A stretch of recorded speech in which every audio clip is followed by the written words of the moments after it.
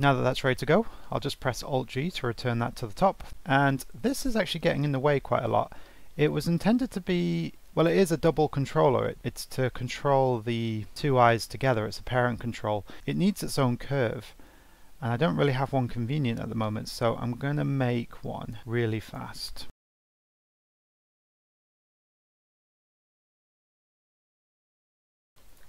Give this a try. Yeah, so I can move it around.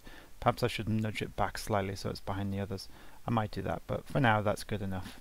Right, so we have our blink controller here. Let's connect things up. As you may have noticed, I've got some blinks happening on the screen, and they are grease pencil blinks that I've drawn. I've drawn this eye closing, drop the summary here so you can see under my grease pencil object. The eye is open on frame 0 and it just holds its position on frame 1 and then frame 2 3, 4, 5 and 6 I've drawn it closing.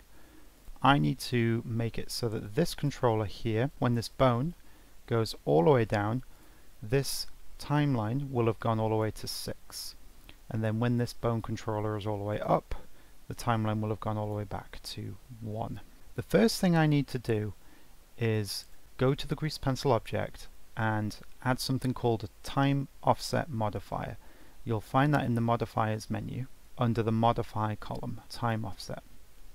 The second thing I need to do is instead of leaving this on regular, which just means as you scroll through you'll see it move, you need to change the mode of the time offset modifier to fixed frame. And that now means that the blink is controlled by this field named frame. Now we need this field to be driven by this controller. So we'll go back to the armature go into pose mode and click on the controller. We know that it's the y-axis going up and down. So I'll right click on that and we'll simply say copy this as a new driver. This is a new button blender I've added that makes setting up drivers much much easier. So I'll give that a click and I'm simply going to paste that onto the time offset modifier. So where frame is, the field that makes the eyes open and shut, I'm going to right click and I'm going to paste the driver. There we go. It's turned purple because it's being controlled now by this arrow. So now when I select this arrow and move it up and down, you'll see that the eyes shut, but they're snapping shut.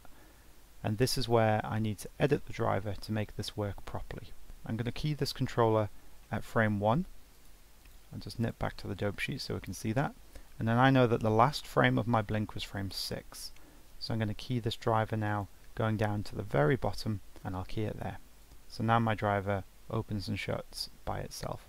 And that just makes it a bit easier for me to see how the driver is doing. It's not anything to do with the actual technical process that we're setting up. Now I'll go back to the fixed frame field. I'll right click and I'll open up the driver's editor. The driver's editor can look a little bit intimidating at first, but once you realize what's going on, it's not that big of a deal. It's just essentially a graph editor that's been repurposed for setting up drivers. And as you'll see, when I drag the timeline back and forth, you can see this driver sliding up and down the line. The problem with the driver is that as the arrow goes down, it's going into negative numbers because that's what we told it to do. We told it to go down to minus 1.2, which you can see it's doing here. However, our blink is actually being triggered up here on frame 6. So when this driver goes down, we need this line to actually go up instead. To do that, we can just take this offset modifier and we can flip it round. And because this is an F curve, we can simply do that with rotate. And just by doing that, you can see now the driver travels upwards instead of down. We can be a bit more accurate though by using the scale. So if I press S and lock it to the y-axis, I can scale it into that position instead in a far more accurate manner.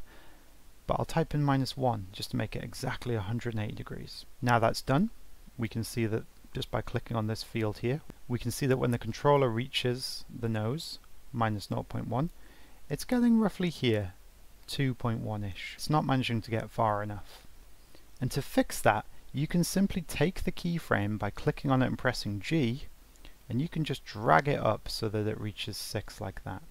If you move it slightly left or right you'll be changing the frame number and that won't really help this out very much because this is an averaging process. But by taking it up to 6, you've made it so that when the arrow is all the way down at the bottom, the frame count is on 6, which means our blink will now work. That's a very clumsy way of doing things, but if we look over here under the F-curve, we'll see that we've got three different types of value. We've got the keyframe, which currently is on minus 1, as you can see here, it's on minus 1, and we've got the value, which is currently on 5.995, which is what we've landed on here. Then we've got the value of the left handle, which is just talking about this handle here.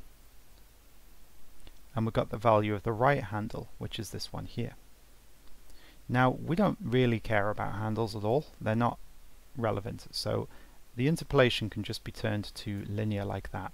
And that just gets rid of that noise. Now all we have is the value of the keyframe, which makes this a lot easier. So we know that the keyframe that this curve had to be on, when it was all the way down, we know that that value was minus 1.2.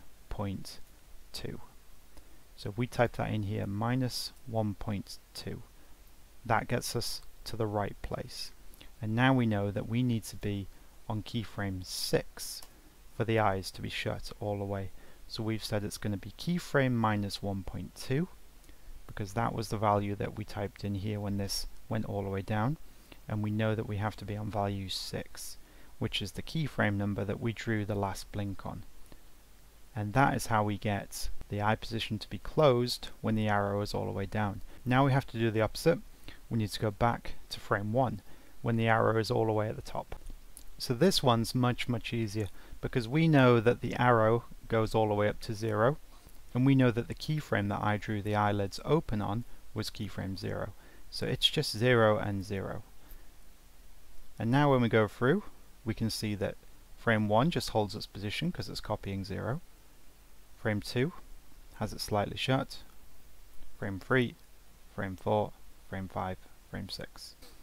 However, as you can see here, all is still not well. We've got our eyelid open on frame 1, which is good, but at frame 2 it's supposed to close. But as you can see by looking at the graph, this isn't reaching when I scrub the timeline to frame 2.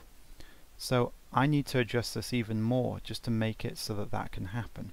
And it's all about the steepness of the curve. So I need that curve to be slightly steeper. So if I click on this keyframe and press G, and then lock it to the x-axis, I can move it left and right like this to increase the steepness. But as you see, when I go over here to the next frame along, that's jumping all the way up there, past frame 2, so it's going too far. The answer is turn off your snapping so that you can get somewhere in the middle. That's up here. You've got an auto snap that's switched on. And just simply say no auto snap. That'll now enable you to move this around with precision. And you can even hold shift just to make that extra precise. So that seems to be about right. So when we're on frame 1, the eye is fully open. Frame 2, it closes a little bit. Frame 3, frame 4, frame 5, and frame 6. There's a number of ways that you could approach something like this if you need this kind of precision. Another way of getting around this problem is to add more keyframes to the curve so that you can specifically put them where you need them. But it's a good idea just to have your open and close position set first. So in this case, this one needed to be on point 4, and this one up here needed to be on 6. Now if I go here to number 5, I can see that that's where that one needed to be. And if I hold control and right click in that spot, I can add a keyframe. Just be careful about where you're clicking because you might miss and accidentally click on this which brings up a right click menu. Then on frame 4 it needed to be there, control and click. Frame 3 needed to be there, control and click. Frame 2 needed to be there, control and click. And then frame 1 needed to be there, control and click. Now you can have a closer look at these frames and see exactly what numbers you needed to be on to make this work but more importantly you can move them around and customize them for each one. In general this driver editor can literally drive you crazy trying to get it to work so don't be discouraged if you struggle with it because everyone struggles with it. I mean as you can see here I've already screwed up 2 to 3 which you probably saw change when I was going through this process. Again though, now that I've got a hold of this, I can just nudge that up slightly to get the eye to close when I need it to close. And that's it, you're finished now. That's how you drive the time offset modifier using a bone. I'll just demonstrate that in action now. Close, open, close, open. Now there's many ways that this could have been done. I've done it using a time offset modifier. I could have tried to use shape keys as well to animate the blinks going from open to close with the eyes as a mask.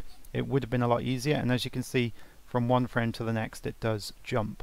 Whereas had I placed a shape over the top like this, I could have used a shape key just to animate this going all the way over the eye like that. And then this could have been masked using the eye as a guide. That would have given me a much smoother blink and I could have driven the shape key in exactly the same way that I've driven the time offset modifier by right clicking on this curve, copying it as a driver and then pasting it onto the shape key channel. So that is how you set up your armature blinks.